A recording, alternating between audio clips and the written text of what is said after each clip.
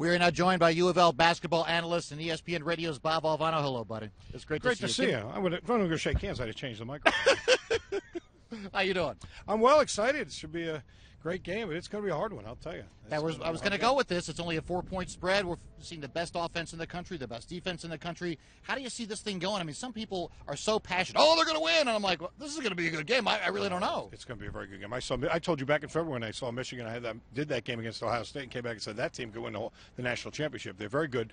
I don't think the one thing that I hear repeated that I don't think is accurate is that Louisville must turn them over to win the game.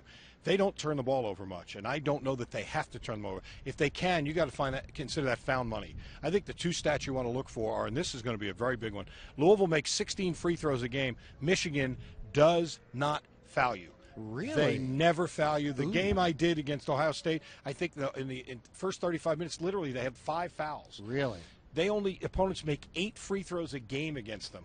Louisville must find a way to get to the line, and then frankly, it's going to be who shoots the higher percentage after that. It's not going to be a whole lot more complicated than that. These, these, it's a great shooting opposition in Michigan. They got four guys in double figures. Good offensive team. There are some on Planet Red that are who are a little concerned after seeing the Michigan State game, wondering, worried that the Cardinals have peaked, that they didn't play very well. Four of their starters combined for only like 17 points. The bench played exceptionally well, obviously. Do you have a sense or a worry that they're they're past their peak going down, or where do you stand on that whole issue? I use the Italian mother syndrome, which is an Italian mother will give you two shirts as a gift, and the first time you wear one, she'll say, "The other one you didn't like." That's what's going on here. Luke Hancock comes out and plays like he's the best player on the planet, Right. and now we're worried because a couple of starters didn't play well. Sure. There's only one guy who can score every time down the floor. Okay. That's why they've been good. From one game to the next, it's been a different guy who's been able to step up. Tim Henderson comes out of the blue Wow, and makes two threes. Found money. Russ Yes. has to play well. Gorgui's got to get more than one shot. That, I don't think there's any doubt. Mitch McGary, by the way, is actually the leading scorer for this team in the postseason. With all the other great talent they've got, he's the leading scorer. So Gorgui's going to have to answer that with some offense of his own. Two last quick questions. Uh, One, how do you see this game in front of our eyes? What are we going to see tonight? Is it going to be an end-to-end deal, somewhere in the 70s, and then, of course, a prediction? Well, I, I think the winning score will be 70. I think it'll be a 70 point game. I, unless for some reason Rick really wants to slow it down and grind it, which I don't think is part of his nature, because Michigan, I know, wants to go. They want to run. So they definitely want to push the tempo and get up and down. The question is, is, is Rick willing to just turn this into, you know, the, the uh, Thomas Hearns, Marvin Hagler, where they just What were going think? throwing? I think he's going to play like he played at the end of the Wichita State game when he had momentum. They pushed it when it was there, but they were very cognizant of the fact that they wanted that team to have to defend them over and over through those screens and wear them down.